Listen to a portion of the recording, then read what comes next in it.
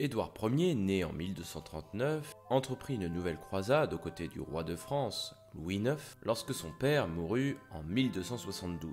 Il entreprit donc son retour en Angleterre, mais ne revint qu'en août 1274. À partir de 1277, Édouard Ier peut démarrer son règne. Sera notamment marqué par l'annexion du pays de Galles, définitive à partir de 1283. Cependant, des révoltes éclateront régulièrement jusqu'en 1294. En 1290, il ordonne l'expulsion des Juifs de son royaume, un acte récurrent en Occident. Cette même année, un problème important de succession se déroule en Écosse. Jean Balliol et Robert de Bruce s'opposent pour le contrôle du royaume. La noblesse écossaise demande à Édouard de se prononcer sur la question, et ce dernier le fait le 17 novembre 1292 en faveur de Jean Balliol. Une très mauvaise décision puisque Philippe IV, le Bel, roi de France, va s'associer au roi d'Écosse pour forger la fameuse alliance franco-écossaise et déclare la guerre à l'Angleterre afin de s'emparer de la Guyenne, dernière possession anglaise sur le continent.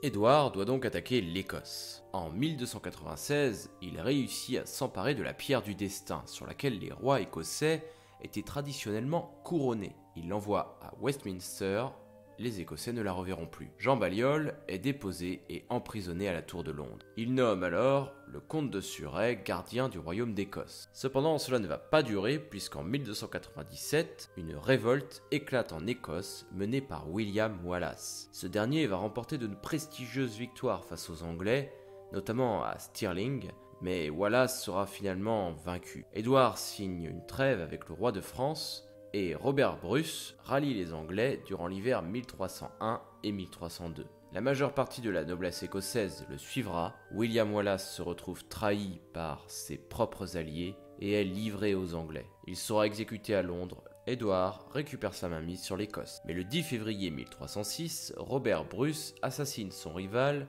John Camin et il se fait couronner roi d'Écosse le 25 mars. Une nouvelle guerre entre l'Écosse et l'Angleterre éclate. Les Anglais, qui se montraient souvent brutaux vis-à-vis des Écossais, voient le royaume d'Écosse complètement s'opposer à eux. Alors que la guerre fait rage en juillet 1307, Édouard Ier, touché par la dysenterie, meurt. C'est donc son fils, Édouard II, qui monte sur le trône.